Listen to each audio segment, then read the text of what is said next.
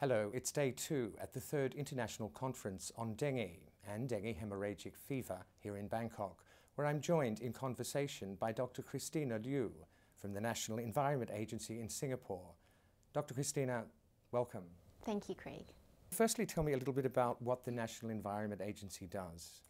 Um, the National Environment Agency is a government agency under the Ministry of Environment in Singapore, and we're responsible for dengue control in Singapore together with the Ministry of Health. Um, but we, our focus is on vector control, so control of the mosquito vector. I'm actually from the Environmental Health Institute, which is under the National Environment Agency, and we are a public health research institute and also a WHO collaborating centre for arbovirus and their associated vectors. Can you just tell me a little bit about this, the dengue situation in Singapore? Um, I believe it, that, it, like in Bangkok, you've had record number of cases this year. Yes, I mean, this year we've had the largest outbreak of dengue ever. Um, to date, we have around 17,800 cases. So, yes, much larger than in previous years. And, and is there any reason particular for, for the, the, the large rise? I think, um, as you've correctly mentioned, in the region there have been an increasing number of cases. Um, there are many factors. Uh, dengue is a complex interplay of many factors, but uh, one of the things that we found from our comprehensive virus surveillance program at the Environmental Health Institute is that this year we have seen the introduction of three new viruses to Singapore that were undetected previously, and these appear to have a higher rate of transmission compared to viruses from previous years.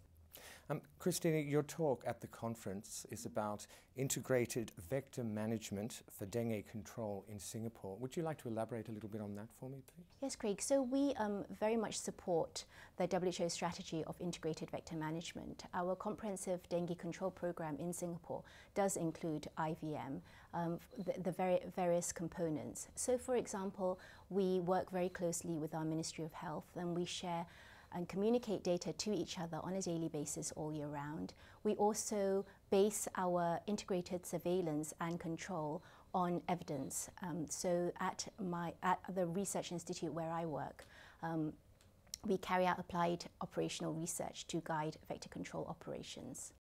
You were mentioning earlier that, that this year, or within the past year, you've identified three new viruses of dengue. Can you talk about that? These are not new viruses as such, but they are new introductions to Singapore to which our local population uh, do not have immunity. So that could be one of the reasons why we have seen an explosion in the number of cases.